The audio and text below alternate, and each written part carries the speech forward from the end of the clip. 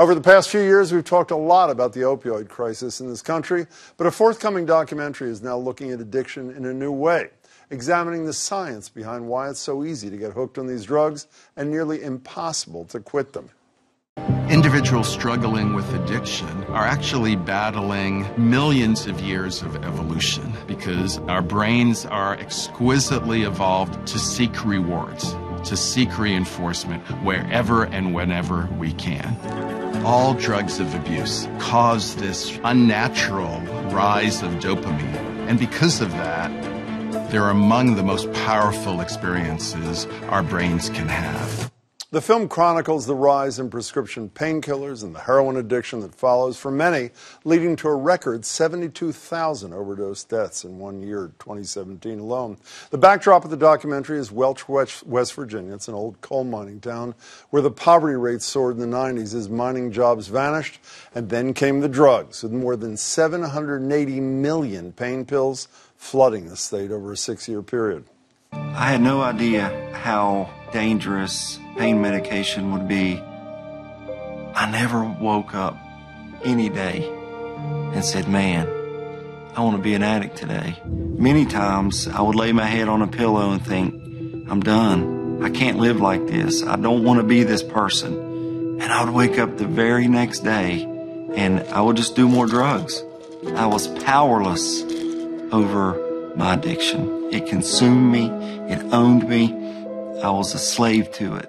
While many, like Mark, tried to get help, they found in the end it wasn't so easy. It's one of the messages the film's producer took away as well, who joins me now. Sarah Holt is producer with Nova. We're also joined by Dr. Laura Kehoe, one of the doctors featured in this documentary. She's the medical director of the Substance Use Disorder Bridge Clinic at MGH. Good to meet you and good to see you, Sarah. Thank Thanks you. so much. It's pretty clear, obviously, among your goals to show addiction is not a moral failing, but a, a physical disorder. Why do we have such a hard time accepting that?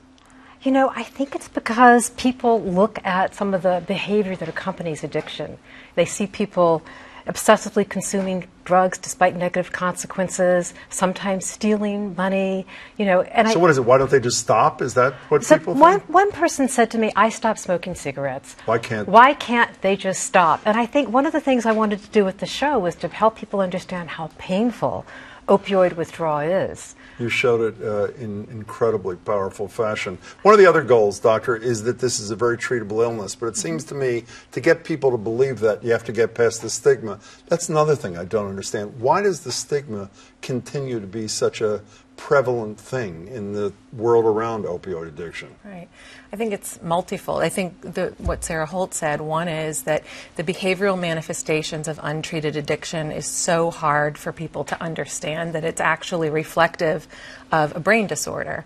And so, unlike other disorders that relapse and are chronic, meaning we don't have cures for, but we have treatments for, like heart disease, Mm-hmm. where people can be in recovery with their blood pressure, with their chest pain because of medications and behavioral interventions and support. They don't see that with addiction, the brain is the organ that's affected, and therefore behaviors are there. But to get people to actually um, engage in care, we also have to work on the stigma that people have from within, from many years of maybe interfacing with treatment modalities that aren't based in evidence, that aren't welcoming to people with addiction.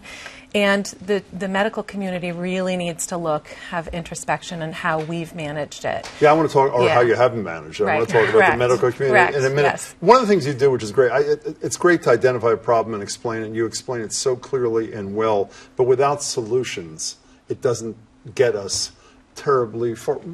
Where were you trying to take people on the solution front there, Sarah? Well, I saw two solutions. One, I think we start we need to start embracing treatments that are effective, especially the medicated assisted treatments for opioid addiction. And affordable and accessible. affordable and accessible, but also there's so many steps we can be taking right now with harm reduction to save lives. Every dollar spent on harm reduction saves up to seven dollars in medical cost. You know, you, are you, you are the one in the film, I saw it a couple of days ago, so my apologies if I get it wrong, who was railing against uh, the 12 step program. Wasn't it you who was doing Well, this? Well, I wouldn't say no, no, no. I, I want to be. I need Uh, to yeah, yeah, bristle yeah. at that. Yes. But I mean, it, it, who, for those who believe that that's a fix yes. or a cure for yeah. this. So for the, the Was people you. that the people that 12 step or AA NA is helpful for, it's incredibly life saving and it absolutely breaks the isolation.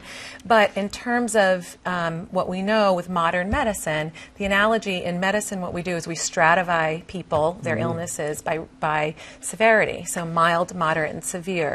And the stark reality is the majority of people that we're seeing with this illness are presenting with severe, or as my colleagues say, metastatic opioid use disorder. And so that treatment modality, by just kind of bringing in peer support for an advanced stage Doesn't illness that requires medication, support, et cetera, is completely mismatched. You know, I worried when, when I was watching the first 30 minutes of this, I thought you were going to educate me and others like me brilliantly and totally ignore the notion that even if people get it, understand Yeah. what's real, that, you know, all of our problems are solved. But then you have people like this, someone suffering from addiction, formerly suffering from addiction, and the mother of someone formerly suffering from addiction, talking about trying to find treatment. Here they are. I wanted to get help, but every place that I called didn't have beds available. I felt like that if I didn't do something, that I would end up dead. I went on the internet and searched, and it's overwhelming. There are so many different places out there. You don't know who's good, who's bad, who's just trying to make money. Financially, our insurance covered nothing. We really tried to find the best treatment possible out there. But in America, there's not a lot of support in the mental health, um, and especially in substance abuse. Her son died after she thought uh, Yeah. he was pulling it back together. You're going to say something. So yes, I'd love to speak to that. I mean, I, whenever I see this, and this is what we see in clinic all the time with families that are coming in with loved ones, or unfortunately people coming in alone. Many people, it's a disease of isolation.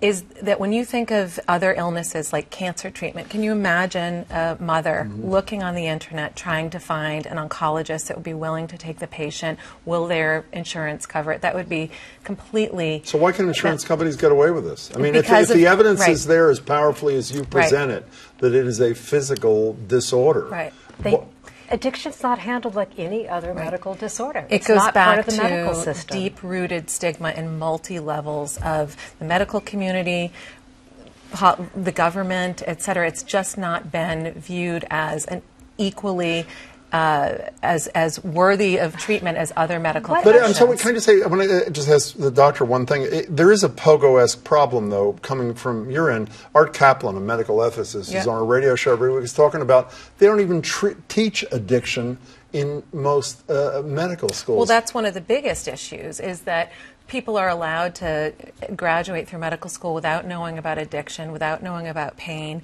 and then are expected when we are faced with patients with addiction to manage them in in a very faulty system that is not equipped to manage them. So in, unless and until we treat medical students how to, to teach medical students how to treat addiction at the get go, that doctors can't elect to choose to treat people with addiction, but it's expected that we will be as well versed in treating people with addiction as we do heart disease and diabetes. Speaking of treating people with addiction, you're an outlier there at MGH. Tell Mm-hmm. people what you do that so many other facilities do not do. Sure. So we offer um, readily available, very low threshold, immediate access care to patients, just like this patient here, um, because what that treatment does is it reflects the illness, which is when people are in active addiction, in the throes of addiction, the parts of the brain that are affected mm-hmm. that allow them to make decisions is completely haywire.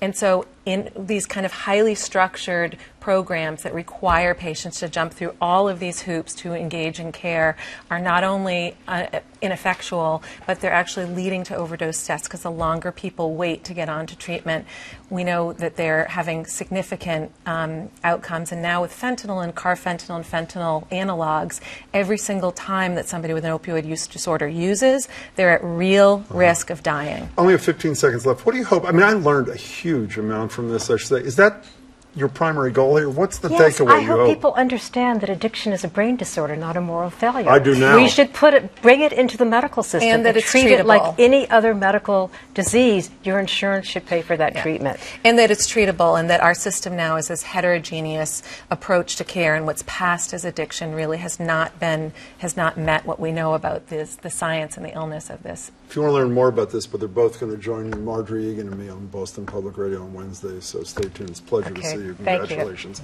Nice to meet you, Thank Doctor. you. Thanks So nice much. to meet Appreciate you. your time. Nova Addiction premieres this Wednesday at 9 p.m. right here on GBH2. You can find out more information online at wgbh.org slash Nova.